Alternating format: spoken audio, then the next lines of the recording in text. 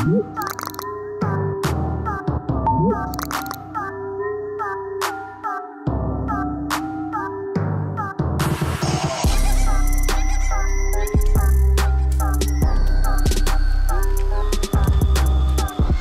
Mali war es schön warm.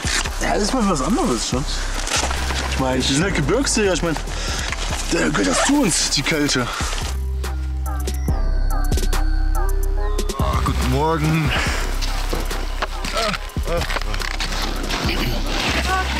Vor allem das Anziehen war jetzt halt nicht so toll.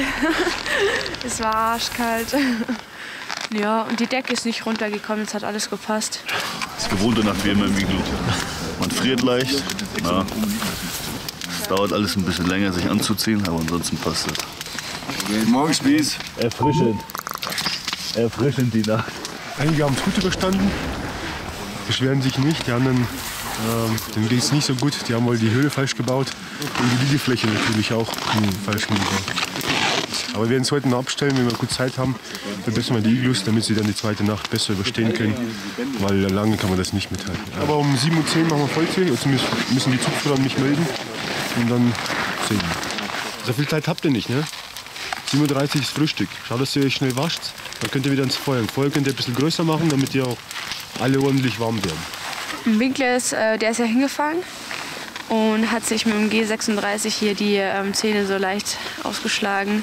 Ich werde wahrscheinlich nicht bleiben, habe auch die ganze Zeit schon zu kämpfen. Und jetzt gehe ich mal runter. Ja, vernün- vernünftig. Lenzi Kasa 3.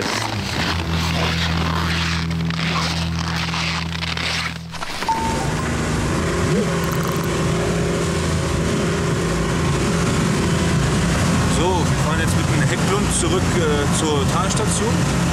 Zur Talstation, zur Stadt Bergstation. Und von da aus geht es dann für mich nach unten. Ja, jetzt geht's runter ins Tal, ne? Äh, hoffentlich werden die Zähne gemacht. Und äh, bis morgen alles wieder fit ist.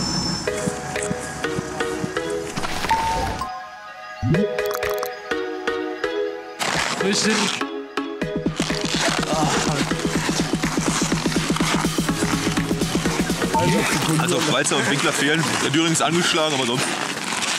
Um 8.30 Uhr treten die Truppen an. Dann werden die eingeteilt. 8.45 Uhr ist Beginn der Ausbildung.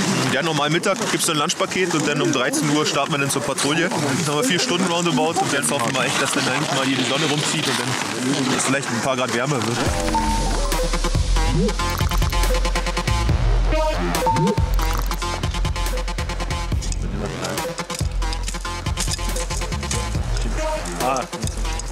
Fühlt sich hier schon anders an.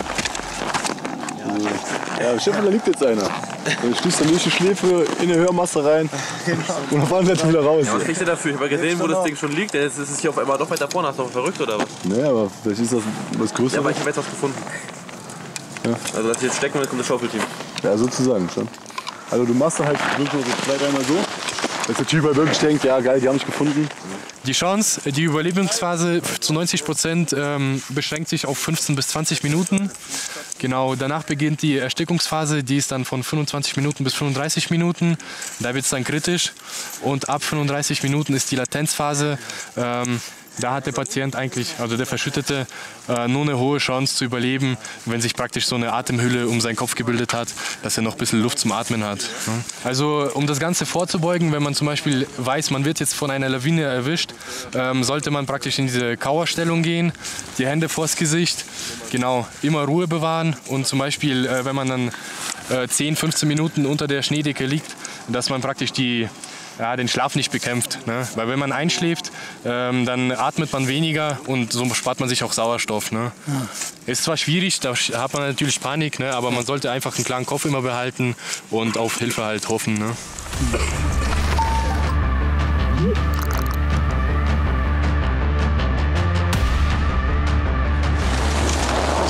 Wir müssen jetzt die zwei UTs quasi nach oben verbringen ähm, mit dem Lift.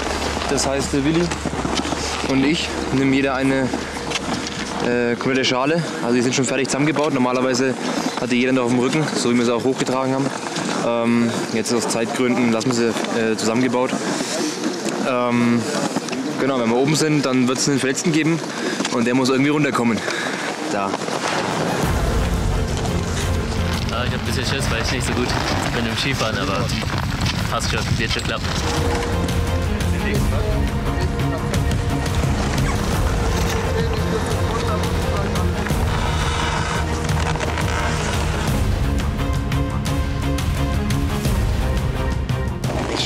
Kameras um mich rum.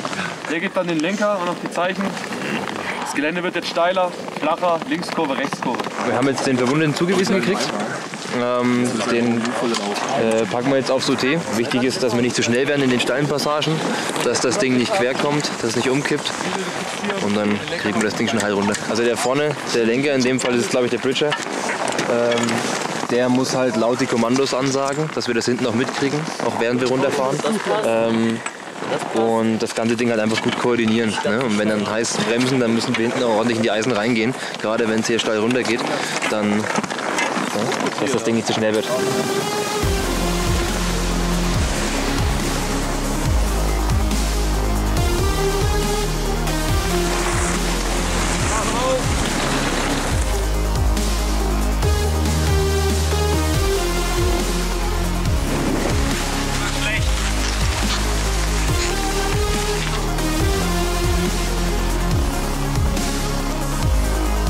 Hat ein bisschen lange gedauert, war krass anstrengend.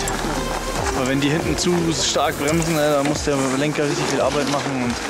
Und Aber jetzt bin ich ja nicht froh, hier runter zu sein. Wenn du wirklich hier so steile Piste und so und da ist da wirklich jemand drin, dann ist schon was anderes. Wenn, als wenn da Rucksäcke sind und es nur diese, diese flache Piste ist. Also wenn da wirklich wer drin ist und das richtig steil runter geht, dann ist schon gefährlich. Da denkt man sich, okay, muss mich doch konzentrieren. Erstmal Mittagspause. Und danach kommt wahrscheinlich die Skitour, die wir machen. Hochlaufen mit, mit ähm, den Fällen ist ja noch ist schon anstrengend, aber kann man ja noch machen. Aber dann geht es wieder den Berg runter mit den Skiern. Das muss ich mal schauen, wie ich es mache. Letztes Mal habe ich einen Zivilisten umgefahren, als wir gefahren sind. Ich habe, ich glaube, so, sein Ski berührt und dann ist er umgefallen, aber wann ist nichts Schlimmes passiert. Bin ich wieder mit Schuss runter und heißt es, Achtung, da komme ich. Wo drückt man zum Bremsen?